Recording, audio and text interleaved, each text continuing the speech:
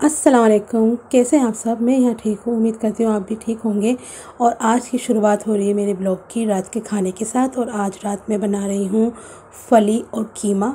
इन फलियों का नाम क्या है मैं भूल गई हूँ, पर ये बहुत अच्छी बनती हैं।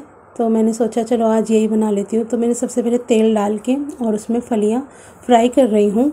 और उन्हें अच्छे से नरम होने तक फ्राई करूँगी। और अभी फ्राई हो चुकी है। अभी मैं निकाल लेती हूँ बर्तन में और प्याज फ्राई करूँगी। हल्की सी सॉफ्ट हो जाएँगी ना जब तक फ्राई कर मैं आपको दिखाती हूँ जो मैंने फ्राई कर रखी हैं फलियाँ। यही चौड़ी चौड़ी सी होती हैं ये। ये नहीं देखिए कितनी ये गल चुकी हैं बिल्कुल।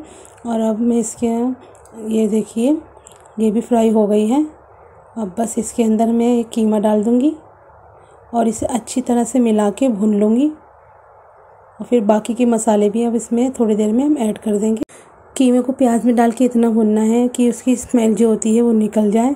और जब वो स्मेल निकल जाएगी तो इसमें टमाटर और मोटी मोटी काट के हरी मिर्ची डाल देना और फिर उसे अच्छी तरह से मिला के उसे भी थोड़ा सा भून लेंगे।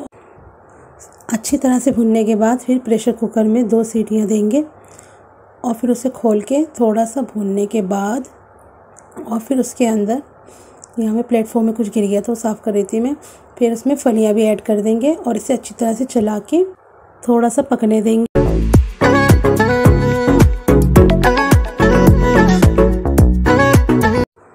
फलियाँ डालने के बाद मैंने एक सीटी और लगाई थी और फिर चूल्हा बंद कर दिया और इसके अंदर डाला थोड़ा सा गरम मसाला और ये अब मेरा सालन बिल्कुल रेडी है।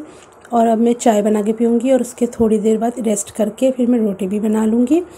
और अब मैं बना रही हूँ रोटी और ये मेरी रोटी भी बन चुकी हैं। ये लास्ट की दो रोटी बची हुई थी। अब ये भी रोटी तैयार है और आज मैंने अपने हस्बैंड से मंगाई हैं गोल गप्पे और देखिए, मिलते हैं, नहीं मिलते उन्हें। वैसे जब तक वो आते हैं ना तो उन्हें कुछ मिलता नहीं है। उनसे कुछ भी मंगाओ। दुकानें बंद हो जाती हैं। मिलती नहीं है कुछ भी सामान। लेकिन देखो, बोला तो है उनसे, अगर मिल जाएँगे तो अच्छा है, क्योंकि मेरा कुछ चटपटी सी चीज़ खाने का दिल कर रहा है बहुत दिनों से।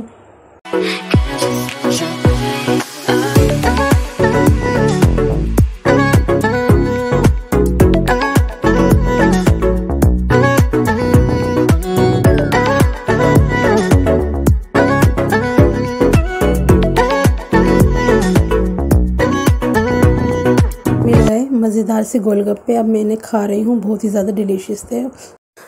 और अब मैंने इनके लिए लगा दिया खाना। अब हम दोनों खाना खाएँगे। अब मैंने खाना सर्व कर देती हूँ।